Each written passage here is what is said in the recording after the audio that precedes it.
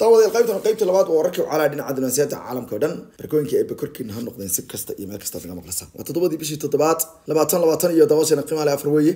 Wararkii ugu dambeeyey caali dhinaca dunaasiyada waxaad ku maqli doontaan warar aada u oo dunida iyo wacaalaha kala duwan baa ka imaanaya. Ku bilaaba basolkan ugu horreysiyey israa'iil waxa ay laysay wariyaal hor leh. Islamarkaana waxay beegsatay ilaa iyo shan wariye kuwaas la sheegaya inay ku geeriyoodeen.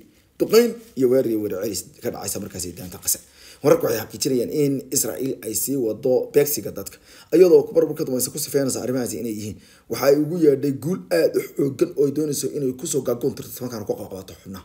Hase yeeshee haddaba goobta aadka ugu weyn ee si weyn laysugu dilay islamarkaana ay u muuqato in ciidanka saanooyada ku fashilmeen inay foodgeliyaan waa deegaanka sujaaciya deegaankani waa deegaan la yaab leh islamarkaana waxa uu ku yaalla bariga bartamihiisa yani waa agag la degan yahay bartamaheed ee dhinaca bari. Marka laga hadlayo maabka yar ee markaasi xayndaaban ee marinka qasa wararka waxay xaqiijinayaan in deegaanka shujaaciya uu noqday xabaalaha ciidanka israa'iil. Wararka ugu dambeeyey ayaa sheegaya in israa'iil halkaasi ciidanka alqudus ay kula dagaalameen iyadoo isnasinayaan ciidamada cutubyada alqudus iyo ciidanka ciisadim alqasa labadan cutub midna waxay hoos yimaadaan taliska ciidanka qalabka. U kooxda loo yaqaan islamic jihad kuwa kalena waxa ay hoos yimaadaan taliska ciidanka xamaas inkastoo labada dhinacba ay yihiin kuwo isku mida markay aaggaasi ka dagaalamayaan haddana shujaaciya waxay noqotay meel xabaalaha badisay. Islamarkaana ciidamada israa'iil ayaa baqacararay maalintii ayaa lidhi lixaad. Oo isku dayayaan aagagaasi inay jiraan waxay wararku xaqiijinayaan in qaarkood la arkayay iyadoo diyaaradaha dagaalka qumaadka u kaca isku dayayaan inay meydadkooda qaataan.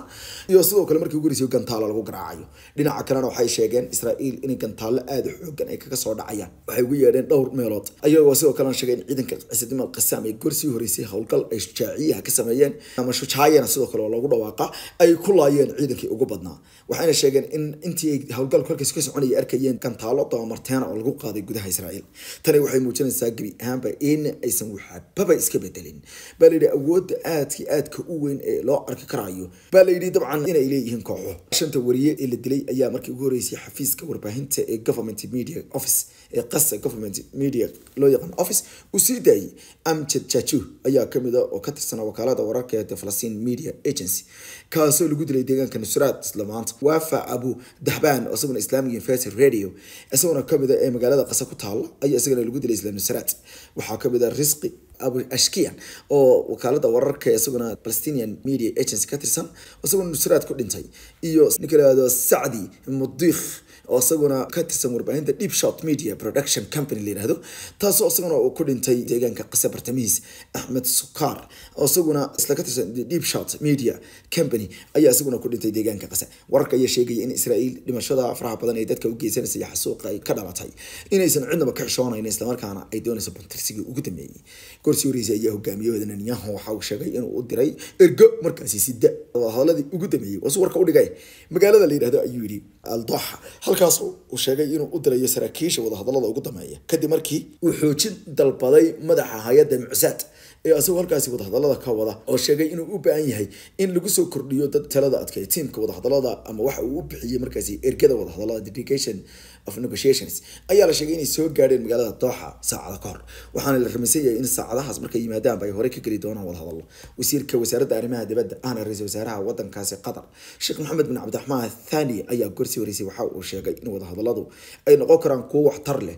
Haddii ay israa'iil ay ka qaado xayndaabyada ugu dambeeya dalalka masar ayaa gorsii horeysay saraakiisha sirdoonka geeyey isaguna magaalada dooxa gorsii horeysay ayaa dowladda masar sirdoonkeeda lagu eedeeyey in uu mid ahi kala kiciyey qeybo ka mid a qodobo la doonayay in erey ahaan lagu gaado xamaas waxaana taasi dhacday laba bilood ka hor. Tan intaasna waxaa la sheegay in dowladda dalka masar ay ka cagataagneyd gebi ahaanba inay sooga sii hogaansato kadib markii la sheegay in khilaaf aada u baan oo gudaha uu ku yimid nidaamka uu hogaamiyey cabdulfataax casiisi inkastoo alsiisi uu yahay ninka kan islamarkaana u shaqeeya nidaamka saanooniyadda haddana weli waxaa jira dad badan oo marar badan culays kala kulmo oo ka mid a saraakiisha ciidanka qalabka sida shakhsiyaad ka mid a iyo sidoo kale kuwa hay'adda sirdoonka qaranka ee wadankaasi masar. Oo dabcan waata soomaalidu tiraahdo maal ku xiga meelaad uga dhacdo waa dhadhamisaa dabcan waxay ka dhigan markaasi in danqasho un ay jirtay.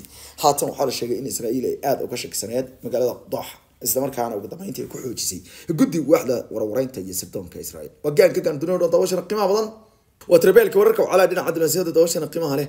Wararka wacalaha dhinaca dunaasiyada fari kama qodna dhinaca kalena aan fiiriyo hadeertana waddamada azerbaijan iyo weliba wadanka la yihahdo turkiya madaxweynaha dalka azerbaijan ayaa cambaareeyey cunsuriyada ka socota ee foosha xun koobka ciyaaraha sirreebka kubadda ee dalalka reer yurub. Mary dimrao ayaa waxaa uu u muuqday in gebi ahaanba laga saaray ciyaarta wuxuuna cambaareeyey madaxweynaha wadankaasi in gebi ahaanba uusan ku jirin aagga loogu talagalay ee lagu siiyo qofka kaarhka cas ama kaarhka gududan loo yaqaano the red cardka penaltiga ayaa gebi ahaanba waxa uu ahaa ayuu yidhi mid aan cadaalad ahayn isla markaana si aada u daran. Ayaan u cambaareynaya ayuu yidhi madaxweynaha wadankaasi misr caliyef caliyef waxa uu sheegay in ninkan uu ciyaarayay markiisa xulka qaranka ee dalka turkiga lagu sameeyey qadaf aada iyo aada u weyn. Ciyaartii ay la ciyaarayeen dalka netherlands wuxuu gebi ahaanba waxaan u rajeynaya ayuu yidhi kooxda qaranka ama tiimka ciyaarta ee turkish national team. Guul ayuu yidhi ciyaartooda ayuu yidhi. Taasoo uu ku tilmaamay inay ahayd mid aada iyo aad ay u tahay ciyaarta dambe ay la ciyaari doonaan netherland ta kale waxay la ciyaarayeen australia ayay la ciyaarayeen tan la siiyey kaarka.